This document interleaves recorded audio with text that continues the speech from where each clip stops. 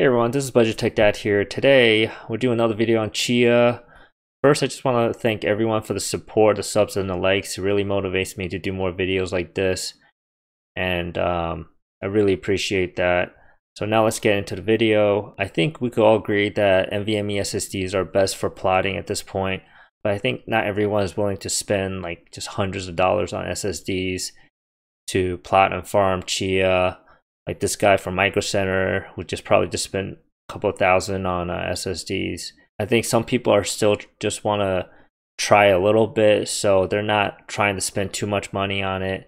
So the question is, can you mine Chia on a budget? For me, it's more like, can you mine Chia with whatever you have? Because I've been getting a lot of comments where people are asking, are uh, portable SSDs okay? I have uh, this portable SSD. Can I use it for plotting? And the answer is yes, but how you know how bad is it? That's the question, right? So I took two portable SSDs and tested it, plotted plotted with it, and uh, I have the results here for you. The results are kind of interesting, so let's take a look at it. All right, so what I tested was the Samsung T5 and the Sabrent Rocket Nano. Uh, one is SATA based, one is NVMe based. So this NVMe is twice as fast as SATA. I've broken down this into phases. So what I did was still parallel three plots, but not staggering. Obviously, you can optimize more if you stagger it, but since I my original tests were just doing three straight parallel plots, it's easier to compare with the 970 Pro. What's interesting here is the T5 actually did three plots in nine hours, while the Nano did it in 11.1. Um, but what I thought was happening is I think it was thermal throttling um, the reviews on this portable SSD was saying that think this gets pretty hot. So I did it a second time and then I tried to touch it. It was not hot to touch, but it was definitely uncomfortable to put my hand on it. So I think it was thermal throttling a lot. So that's something that you want to watch out for when you try to plow with a portable SSD. Um, but if I compare the T5 with the 970 Pro, the time is pretty good. Like you know, nine hours or 7.6, it's not a big difference. So you could definitely just plot with a T5 and be okay from like a budget point of view. Like if you have a T5 laying around, I don't think you need to go out and buy a 970 Pro or an NVMe SSD just to get you started, right? Uh, the other thing I want to mention about portable SSD is um, TBW. Uh, there's no TBW rating for these things, so you just got to be careful. I, I think the T5 is an mSATA like 850 Evo Samsung, uh, which has like 300 TBW or something.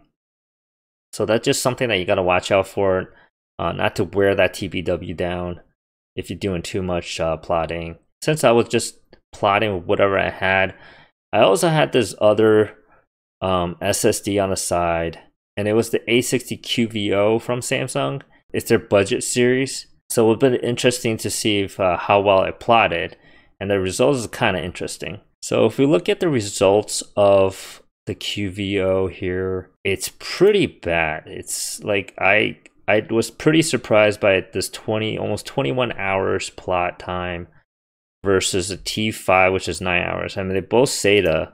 The only difference is this is a QLC NAND versus a TLC NAND. That leads me to say that like QLC NAND not only is terrible for TBWs, but also speed of plotting. So it was very interesting to see that I plotted three parallels in uh, 21 hours. And that leads me to mention to you guys like, I know um, NVMe's is the best for plotting, but you got to be careful with what um, NVMe you're getting.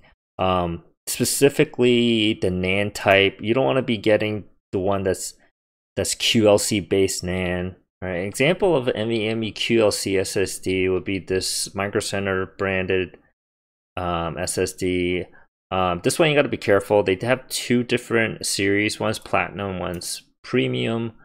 Uh, this platinum one is actually QLC. If you scroll down to the specs here, it's QLC here, and you can see that endurance is only 200 TBW. You're not going to get a whole lot of usage out of this for plotting if you look at their premium brand here, you can see that it's 3200 TBW. This is insane. Like That's so much more than the 200 that you're getting. So that's something that you gotta be very careful when you're shopping for this. Another example is the Sabrent Q 2 terabyte NVMe. I think this one only has 260 TBW. Even though the speed says this is like really good speed, I'm a little doubting on the speed because of my um, 860 QVO test. It was just horrendous speed on plotting. So I'm very doubtful on QLC based SSD. You should never just just totally. I think you should just totally avoid this thing. I know the price is very attractive here, but just just don't. Um, I hope this helped you guys um, pick out a SSD for plotting uh, from a budget point of view. And uh, happy plotting, happy farming, and I'll see you next time.